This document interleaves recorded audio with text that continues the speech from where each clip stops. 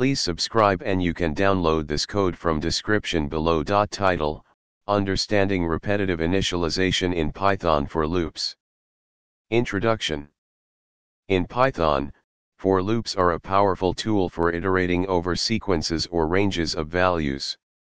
However, there are cases where you need to perform repetitive initialization before each iteration of the loop. This is where repetitive initialization becomes crucial. In this tutorial, we'll explore how to use repetitive initialization in Python for loops with code examples. Repetitive initialization refers to the process of resetting or reinitializing variables before each iteration of a loop. This is commonly needed when the loop needs to process multiple elements, and certain variables need to be reset to their initial state for each iteration.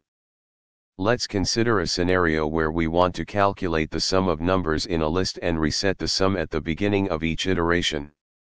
Here's how you can achieve this using repetitive initialization in a for loop.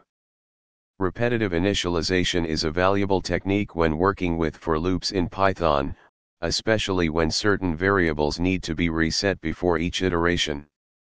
This tutorial demonstrated a simple example, but the concept can be applied to various scenarios where iterative processing is required. ChatGPT